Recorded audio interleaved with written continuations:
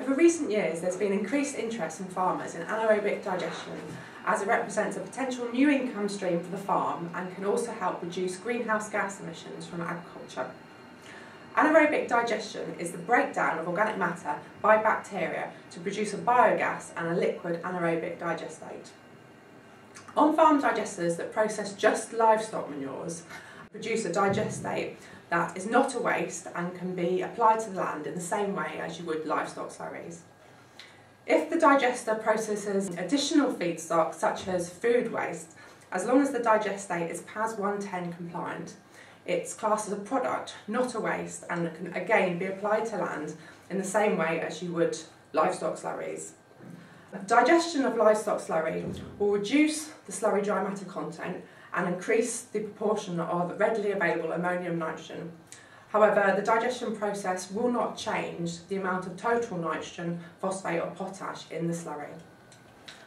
Anaerobic digestate needs to be applied carefully to land to minimise the risk of pollution to the environment and to maximise crop available nitrogen, phosphate and potash from the digestate. Digestate is a high readily available nitrogen manure and as such um, cannot be applied to land used during the NVZ closed spreading period. In order to make best use of the crop available nitrogen from the digestate, it should be applied in, when the crop is actively growing, so in the spring to summer period, and application to using a trailing shoe or shallow and depth injector applicator will reduce emissions of ammonia and also reduce odour. The new MANNER NPK software is a simple tool to give farmers a quick estimate of the crop available nitrogen, phosphate and potash supply from applications of organic manures.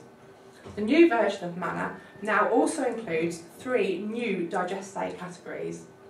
Whole food-based digestate, whole pig slurry-based digestate and whole cattle slurry-based digestate.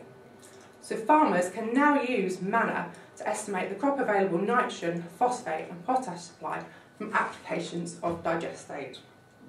In this example here, we've entered details of an application of cattle slurry based digestate to grassland in the spring. The digestate has been applied at a rate of 40 cubic metres per hectare, or around 3,500 gallons per acre, using a shallow injector.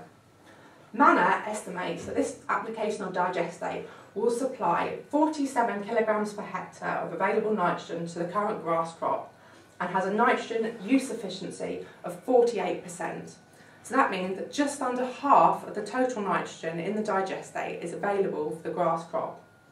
The digestate also supplies 48 kilograms per hectare of total phosphate and 108 kilograms per hectare of total potash.